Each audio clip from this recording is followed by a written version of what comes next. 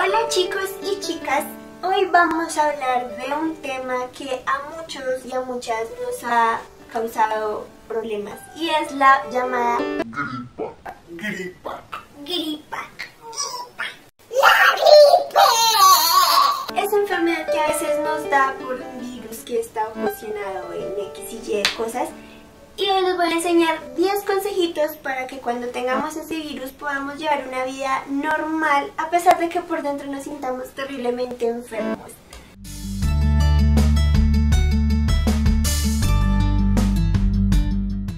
Si ya tienes el virus de la gripa, solamente tienes que seguir estos consejitos.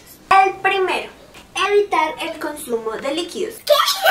Aumentar el consumo de líquidos, preferiblemente el agua, porque cuando tenemos gripa nosotros eliminamos el virus a través del agua, del sudor. Y por eso es importante que consumamos mucha agua, además también para aumentar las defensas. Si tienes la garganta irritada sientes dolor, rasquiña, bueno, rasquiña no creo, pero si sientes la garganta como mal, puedes aliviar un poquito ese dolorcito, esa molestia, mezclando agua caliente con un poquito de sal y haciendo gárgaras con esa mezcla y vas a ver que se va a aliviar un poquito. Puedes hacer estas gárgaras las veces que consideres necesario. Consume vitamina C y esta vitamina la puedes encontrar en frutas como la naranja.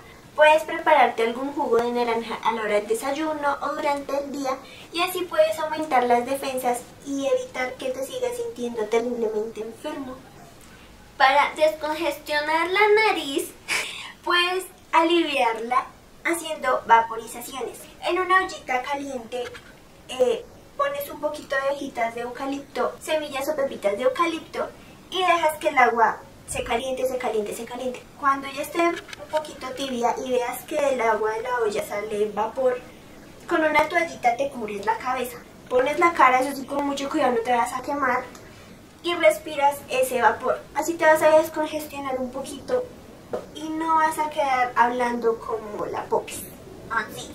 Usa pañitos húmedos o pañitos delgaditos para evitar que esta zona de la nariz se te ponga roja o que se te queme la nariz y te duela mucho. Con estos pañitos puedes limpiarte con tranquilidad y sin dolor. Conserva el calor. Evita exponerte a climas muy fríos o a vientos muy fuertes porque la verdad si tienes un resfriado y te vas a donde hay más frío, pues no te vas a aliviar mucho. Conserva el calorcito, abrígate muy bien, ponte gorritos, tapate las orejitas, ponte guantecitos, consciente.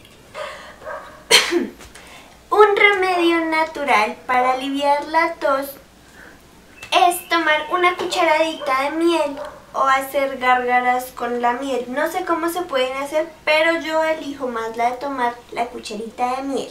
Si tienes tos seca o esa tos que hace que te duelan los pulmones, puedes hacerte un jarabe muy casero y natural, así.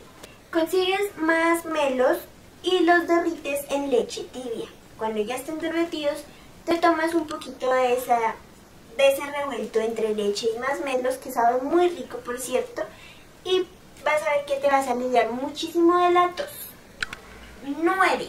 Sé que este consejo va a sonar un poquito extraño y es por lo siguiente. Tienes que evitar dar besos, prestar cucharas, vasos, botilitos de tomar agua o gaseosa o jugos ¿Y por qué? Porque vas a contagiarle el virus a esas otras personas. Cuando tú te sientas mejor, esas personas van a estar enfermas y tú te vas a volver a contagiar y ellos van a contagiar y tú te vas a contagiar y ellos van a contagiar y tú te vas a contagiar y nunca se va a ir el virus. Entonces evita estornudar encima de otros, evita toserle la cara a tus compañeros, evita prestarle tus cucharas o cosas de uso personal a otras personas para que el virus no se propague. Y si puedes, utiliza un tapabocas para que no te contagies o no contagies a los demás. 10. Y este es el consejo que a mí más me encanta.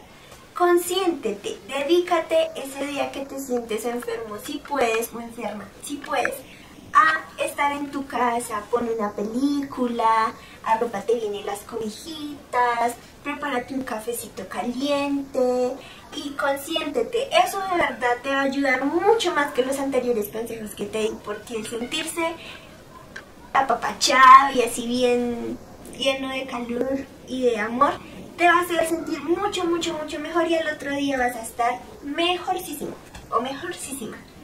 Espero que estos consejitos les sirvan cuando estén enfermitos o si tienen en su casa o en la universidad o en el colegio conocen a alguien que tenga gripa, pues denle estos consejitos para que se sienta mucho mejor y le des la fuerza y la moral para seguir su vida adelante. No olvides suscribirte para que no te pierdas de ningún video y para que seamos muchos más en Siempre Cool y compartir este video con tus conocidos. Recuerda que los lunes y los viernes hay un video nuevo para que no te lo vayas a perder y estés pendiente. Vemos en el próximo video y que tengan una feliz semana.